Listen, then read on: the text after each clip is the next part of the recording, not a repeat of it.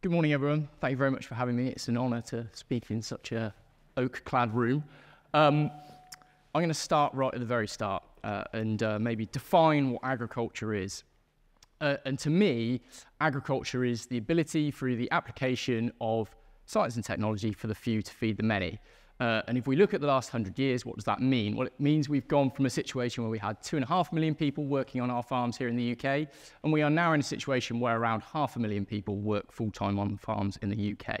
So that represents now just 1% of our population, down from 5% 100 years ago. And if you take this backwards all the way to sort of Roman times, you will find figures of around 75 to 80% of people of the population would have been engaged in farming here in the UK. So it's a, a continuum.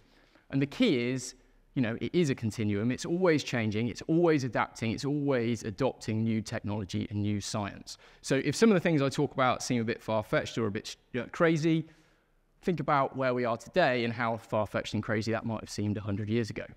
So how has that 5% dropped to 1% in the last 100 years? Well, largely thanks to mechanization, the uh, adoption and development of the modern day tractor based around the diesel combustion engine.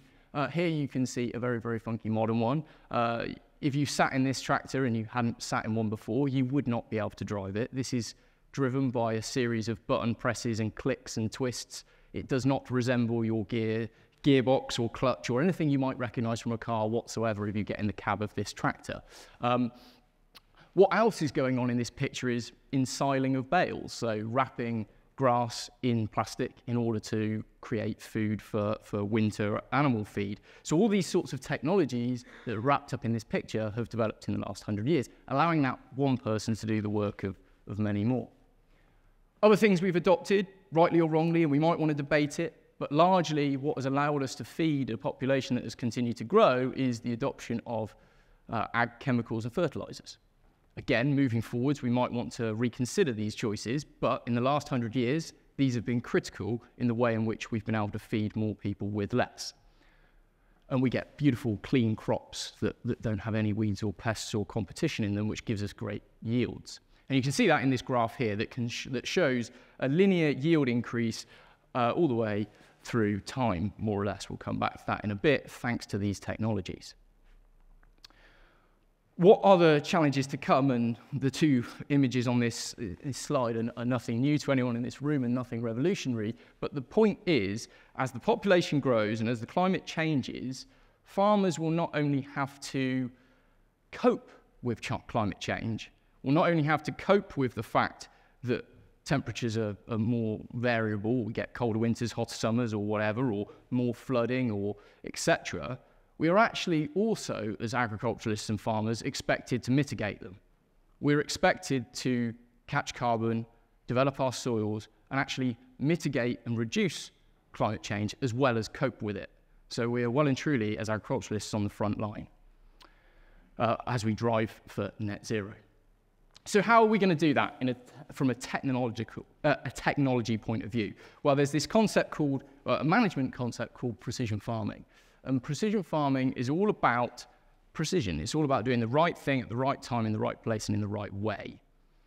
Subdividing our fields into smaller and smaller areas where we observe variation, measure variation, and then manage variation within our fields more and more precisely in order to reduce the waste in with our inputs, such as fertilizers and ag chem. So only putting inputs exactly where they need to be, shaving all the waste, and driving yields whilst reducing our overheads and our emissions.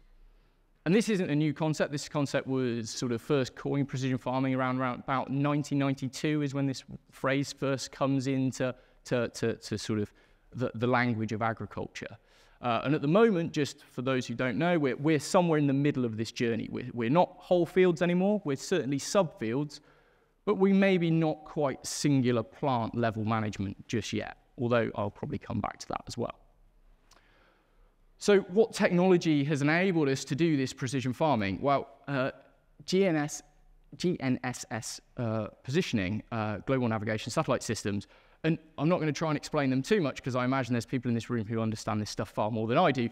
But largely what happens with GPS, as I'll colloquially call it because it just rolls off the tongue easier, is that we receive clock pulses down from space, and as users, we we, we receive clock pulses, we work out a time delay from the time that that clock pulse was sent to when it arrived. That gives us a distance to the satellite, and once we know the distance to several satellites, we can position ourselves on the Earth. Now that's great, other than the fact that those signals get refracted and bent and bounced and warped. And that allows us only really to get around about meter accuracy on your device that's in your pocket. Now, if I want to go farming and I want to farm at a plant by plant level, I need better than this. So in agriculture, what we have developed, uh, and it's used other places too, but agriculture has driven this, is differential GPS systems. So this is systems where we use known base locations we real time continually calculate the GPS position at that base station. And therefore, if I, if I know I'm here as a mast, but I calculate that I'm over here, I know that there's a meter of error. And then I real time send that error to a tractor or a machine in a field, and that allows that tractor in the field to correct itself. The more locally you do this, the better that correction can be, and we can get correction that is down to as little as 10 millimeter accurate. And that isn't just 10 millimeter accurate that I know where I am today, that is repeatable month on month, year on year, continually, maybe not accounting for continental drift if you want to go as far as that. But I can put a 10p on the ground today and I can find it next year using differential GPS systems, which allows us to plant by plant uh, farm. What have we done with that? Well, we've made tractors steer themselves with people still sat in the cab. So here's a tractor, it's got a receiver on the tractor, it's got a receiver on the seed drill, and it can compensate for the fact that it's trying to slide down the hill, this machine. So it's not only accounting for the fact the tractor's sliding, but it's also accounting for the fact that the implement on the back is sliding too, and it can put in steering uh, inputs that keep this tractor dead straight and covering the whole field without any overlap, without any misses, the key to getting optimum productivity. We've also used it to automatically turn on and off our sprayers, or fertilizer spreaders so we can cut down the waste. And by moving to auto steer, you generally say you'll get 5 to 10% savings in your inputs. And by moving the next step to sort of auto section systems, we will get another 5 to 10% savings on top of that again. So again, this is all eating away at how much farmers are putting into the landscape, which is obviously all good. Some other funky stuff we've done is harness machine vision. And this is very basic mm, uh, uh, color segmentation. And this, but, uh, this product goes through the field, as you can see, it identifies lettuces, and it basically wants to kill everything that isn't a lettuce. And it stirs up the soil and destroys all the weeds. Now, this is quite a cool bit of implement, quite a cool bit of equipment, but it kind of doesn't seem that surprising today. But it might seem surprising if I told you that that product has been on the market for 16 or 17 years now. Okay, so machine vision has been on farms doing useful work for 17 years. In livestock sector, we've got agricultural, uh, we've got uh, milking robots, robots that, that, that, can milk cows, make a fairly a, a, job that has some fairly unsociable hours, a little bit more social. If we go back to that full sustainability picture, we have to think about people as well as profit and as well as environment. And, and certainly agricultural robots in the dairy environment have made that job nicer for small family farms who've adopted the technology. We've got feeding robots, that's at the top corner. This is a machine that's a big sort of tub. It takes different feed inputs from the other things, it mixes it all up, and it goes and feeds cattle all by itself so a farmer doesn't have to. And we've strapped pedometers or Fitbits for cows onto cows' legs, and we can see if that cow has got a, um, a limp or an ailment, and we can also track to see uh, if it has uh, early signs of various diseases and things. So this technology is not only in, in the sort of uh, crop space, which is where I mostly work, but is also in livestock as well. Okay, so what are the problems with mechanization? Uh, I've already told you that we've got a reduced rural labour force, and this has driven us to drive our tractors to be bigger and bigger and bigger. We've got limited time windows. Uh, and that, again, is because our farms have generally got bigger. We still only have two weeks to drill a crop or two weeks to harvest a crop, so we need bigger machines to make that possible. We've got one-upmanship. Farmers love looking over the hedge at the farm next door. If the farm next door's got a bigger, shinier tractor, I need to buy a bigger, shinier tractor too, so I can talk about it down the pub. That sounds really flippant, but it's completely true. My brother fa- falls for that trick all the time. It's a mar, you know, the guys here from big companies in front of me love this. They can sell tractors by just putting a bit more chrome on them.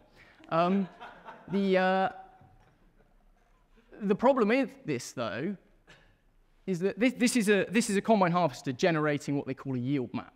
So it's like a topographic map that tells you where the yield in the field was high, where it was low. But the problem is this is marketing lies, and it actually looks like a barcode. And the, the resolution of our data is limited by the width of the, the header in this situation. So as that machine's got bigger, the resolution and the precision has got worse. Okay, so when precision farming first happened, when the first yield maps were on combines, the combine header was six meters wide. This combine here could be a 12 meter header, I think, and now it's not uncommon to see a 14 meter header here in the UK. So you've halved the amount of data we're capturing from our fields in the era of precision. Those big machines also compact our soils. This is an extreme example where we've got full crop failure on the headland of a field. But if we go across our fields, we have major soil health issues. And that compaction, if we go back to this yield graph, has caused a plateau in yield ever since the year 2000. So our yields have failed to rise since the year 2000. And if we go back to the sort of climate agenda, compaction is also not very good for sequestering carbon, building up uh, biodiversity within our soils either. So we want to try and get rid of that. And what's caused it? Really big tractors. So an alternative future, if we didn't need bums on seats, if we didn't need people to drive our tractors, would be to develop uh, autonomous systems that don't necessarily have to look the same size shape. We could repackage our agricultural machines if we embraced automation. So we could go really small, be ultimately more precise, be lighter on the soil, better for compaction. We would have swarms of small vehicles if we repackaged them into these little vehicles that were cheap. We could have loads of them. So we'd retain the amount of output we could achieve. We'd retain the jobs as well. We just might make the job a bit more interesting, exciting, engaging for a younger generation to look after these machines. And from, a gen- uh, from the point of view of me, who's a developer of these systems, or has been a developer of these systems, small vehicles are intrinsically safer. If I automate the huge 30 ton tractor on the previous page and something goes wrong, I've got a major problem on my hands. There's not a lot that stops a 30 ton tractor if it's going AWOL. If I automate the thing like a vacuum cleaner, then it'll stop when it gets to the side of the field and hits the hedge. So that's a benefit too. To put some numbers on this, if we think about repackaging our agriculture, if I plough a field, I'll move about 1,900 tons of soil per hectare, continually moving soil. If I just got some sort of drill bit mechanism, drilled a hole, injected a seed, I could move as little as 12 tons a hectare of soil. It's 150 times that soil movement. I'd like to think that might mean that there's a big energy reduction to be had too. And maybe it would open the door for electrification, which is a bit of a struggle with the amount of material we're currently moving. So those are great academic ideas, and they're academic ideas that have been swilling around since the 90s, 2000s, and, and they were ideas that I really bought into. But what I didn't buy into was the image of that red blob robot, because I'm a farmer. I'm a farmer's son. I've come from agriculture.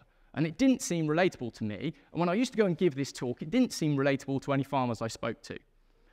So the idea with Hands Free Hectare was to show that we could farm autonomously today. And in fact, not today, back in 2016 when this project took place.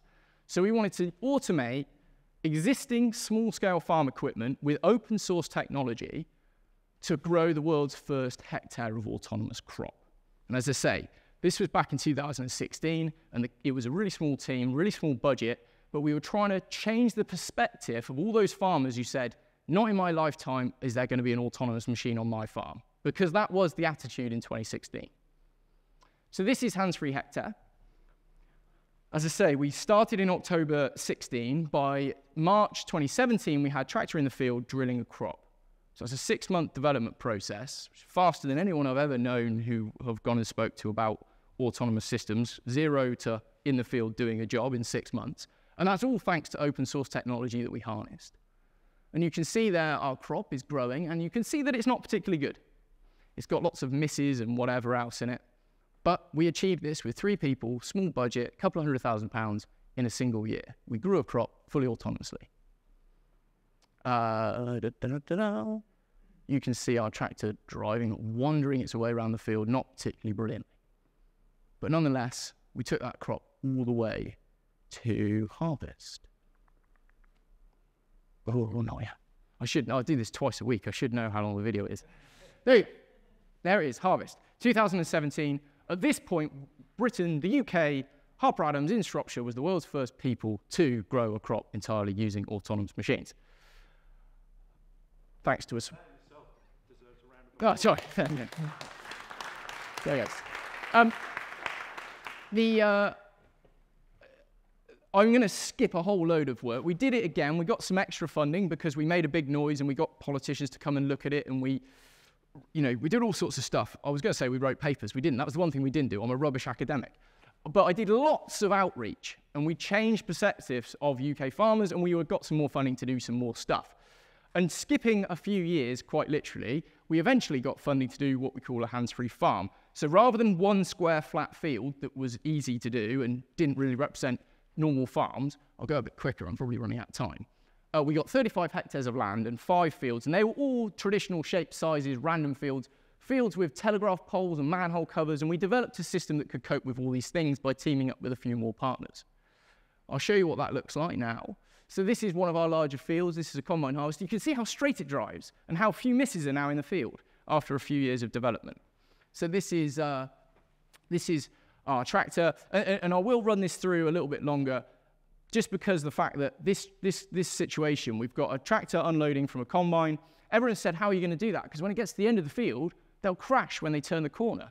And after, you know, several weeks of sort of on and off scratching our heads about this, the sort of hands-free method was to try and break down every problem and make it simpler. We decided the simplest way to stop them crashing at the end of the field is just put some space between them. So rather than do funky simultaneous turning, we just put 50 meters between the two machines, and then they don't crash. Surprise, surprise. So, you know, there's always a simple solution for a complicated problem if you look for it. So you can see the tractor comes to the end of the field, it'll turn. I will skip on because we don't have much time. Um, what else has come from this? Well, we've done some economic analysis. The blue line in the top graph represents a conventional farm. As the farm gets bigger, the tractor gets bigger, which is notified by the, the numbers on the graph, and the cost of production comes down. So this is a demonstration of economies of scale. The bigger the farm, the more profitable the farm. The orange line represents a farm where you use my system, and as the farm gets bigger, you duplicate the system up.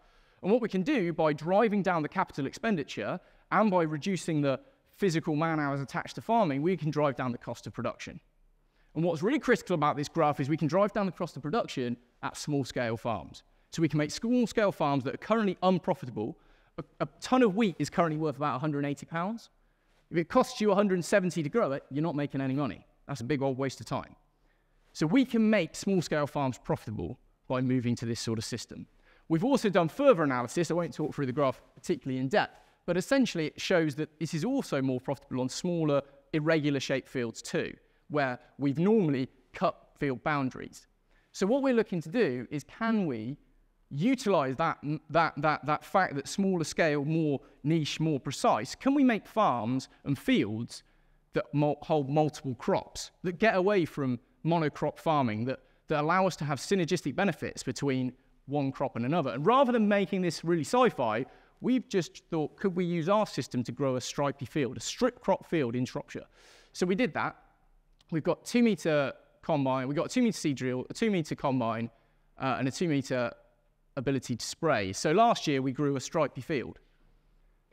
And it, we only did this as a sort of could we do it last year, but now we have done it. we're doing it again with a load of uh, agronomists and biologists studying the effects of if we put more than one crop in a field. Do we get biodiversity gains from this? Do we get synergistic gains? Do we get nitrogen fixing plants feeding nitrogen using plants and stuff like that? So, can we not only farm autonomously, can we farm autonomously to farm better? Uh, some of the stuff coming through, if it will play, are things like using AI to train algorithms to identify green on green weeds. So, this is a machine that's seeing dock leaves within grass and then just spot spraying the dock leaves. This means we can cut chemical application in a field by about 90% if we're only spot spraying the, the, the dock leaf rather than the whole field. We've got drones, and if we went to Southeast Asia, you'd see drones spraying large areas of land. And at the moment, we're sort of going through is that okay or not here in the UK? Is that biologically okay? Is it sustainable?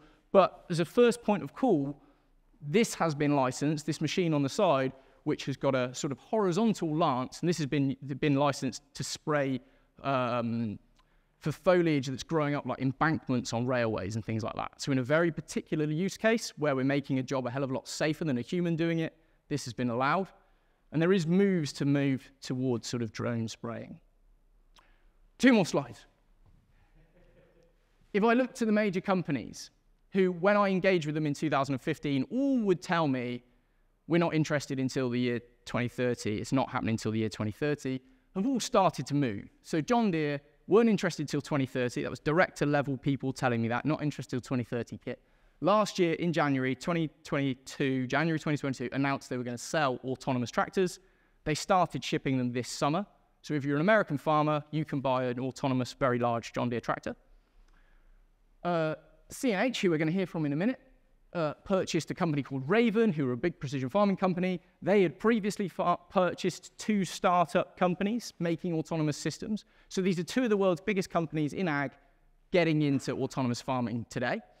We've got startups coming through all over the place. This one here I like to call like the gateway drug. It's called an AgXeed. It's like a, a tractor without a cab, essentially. They're starting to sell those in the UK. I, I think it's too big, it's too heavy, it's all the things I don't really like, but it will get people on the journey to automation. Alphabet, Google, the, the owner of Google, has an autonomous farming division. Who knew? And finally, this is really important to him. So, this is a FarmDroid. This is a FarmDroid. It's a seeding and weeding robot.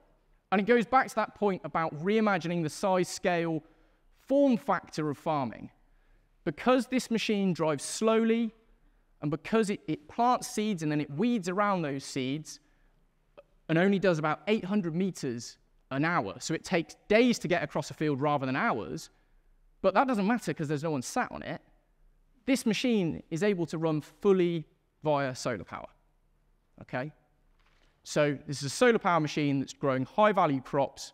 It remembers where every seed is, it weeds around every seed, and it can organically grow a crop through the sunlight alone. There you go. And they're in field today. There's about 20 of them in the UK. And that's where I'll end with a vision of the future that I helped develop with the Royal Academy of Engineering.